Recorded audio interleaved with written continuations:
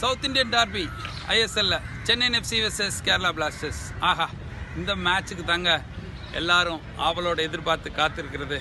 Chennai FC ஃபேன்ஸுக்கும் சரி மஞ்சப்படா Kerala blasters ஃபேன்ஸுக்கும் சரி இந்த ஒரு மேட்ச்னாவே ஒரு பெரிய திருவிழா மாதிரி தாங்க.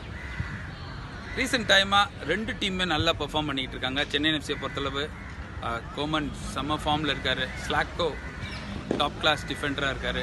அண்ட் மிர்லனோட லாஸ்ட் வீக் அடித்த அந்த கோல் வந்து எக்ஸலண்ட் கோல் பட் அது இப்படி இருக்க கேரளா பிளாஸ்டர்ஸ் பார்த்தீங்கன்னா மும்பை டாப்பில் இருந்த டீமை துவம்சம் பண்ணிட்டாங்க.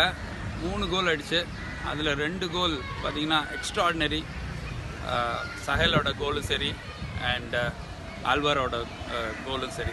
டாப் கிளாஸ் கோல் இந்த மேட்ச் என்ன நடக்க போகுது அப்படிங்கிறது தான் எல்லாரோட எதிர்பார்ப்பும். ஆனால் சைஜிட்டா നമ്മൾ ജയിക്കട്ടോ.